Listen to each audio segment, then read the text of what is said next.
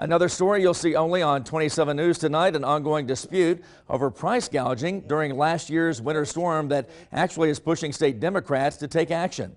One lawmaker is making another attempt now to get answers on that investigation into the issue.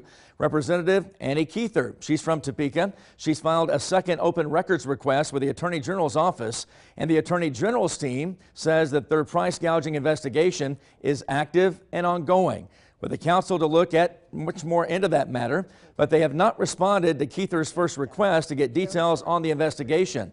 And now she's asking for the name of the counsel. A narrower request is what I put in, so he shouldn't have a, need a lot of time to answer that question.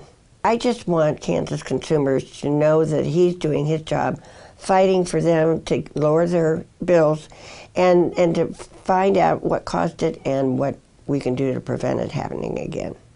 The freezing temperatures last year left many facing sky high gas bills after a rise in natural gas prices. And lawmakers say that some people are still feeling the impact of that.